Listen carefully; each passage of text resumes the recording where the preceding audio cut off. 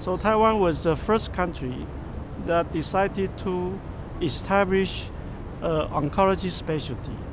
And National Taiwan University Hospital then decided to have a department of oncology to set up a multidisciplinary care and to catch up the modern art of oncology care. The mission is to take the best care of the patient and also to do the best education to all the cancer disciplines.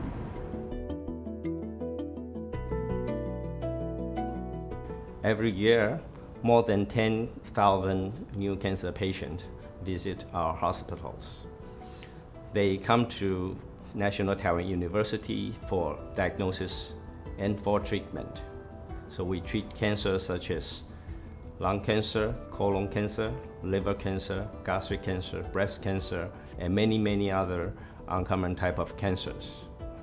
Each patients are managed by their case managers and they were treated by medical oncologists, radiation oncologists, surgeons, internal medicine doctors, and many other specialties in this field.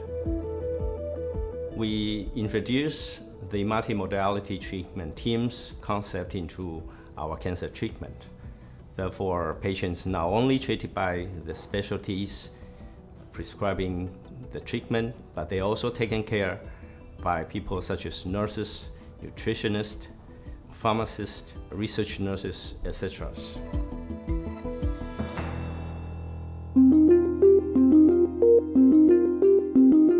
Cancer patients, especially late-stage cancer patients, are not satisfied with the center of care that we can provide them today.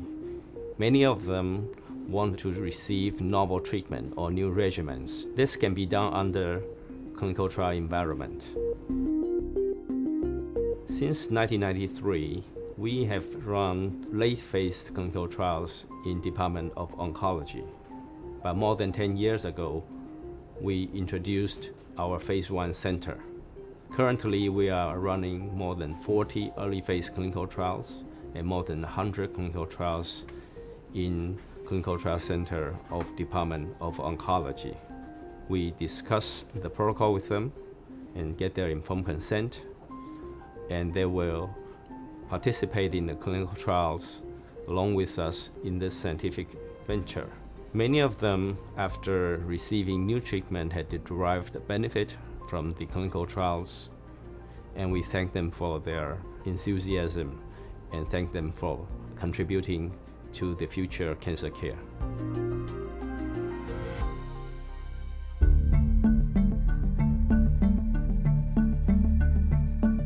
My major is studying the GI cancer, mainly focus on colon cancer and gastric cancer. Colon cancer is the number one cancer in Taiwan and Asia, and gastric cancer is the Asia Pacific cancers. We have a national program to screen colon cancer. No matter uh, female or male patients uh, more than 50 years old, every two years the government will provide the immunofecal blood test. Gastric lymphoma is uh, one of our hospital uh, expertise. is probably the only cancer related with the uh, microorganism. is the Helicobacter pylori. This is a microorganism HP related, so its uh, antibiotic uh, can be uh, successful treat this cancer.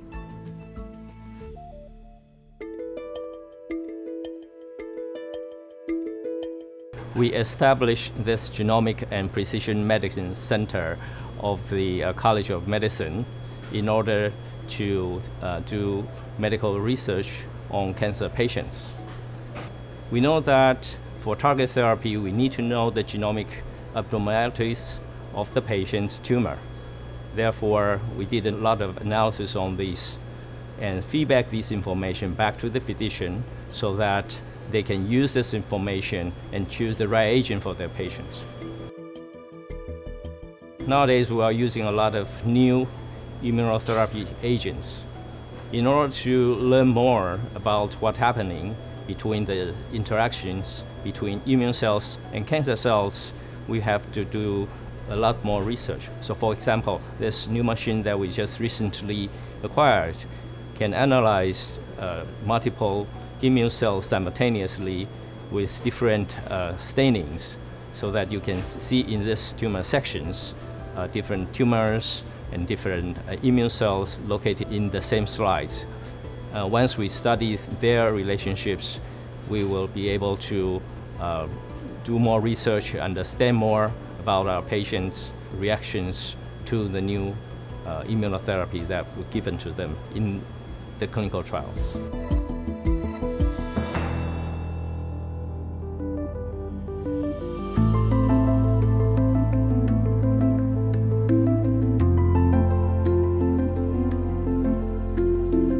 At this point, National Taiwan University Hospital is simply limited by space. Every day, we have to disappoint more than 100 patients who are seeking the help from National Taiwan University Hospital, but the hospital simply has no space to help them. So that is the primary reason that we are looking for another space to have another big center, try to help all the patients in Taiwan. We are so fortunate to have the help from the Foxconn founder, Mr. Terry Gou. He gave us a big donation to help us to have this new center ready to help all the patients in Taiwan. In the future, all the patients coming into the new cancer center, they not only having the cutting edge of treatment, the best that they can have in the world, but also they are having an environment that are full of humanity. And this is how we design this hospital.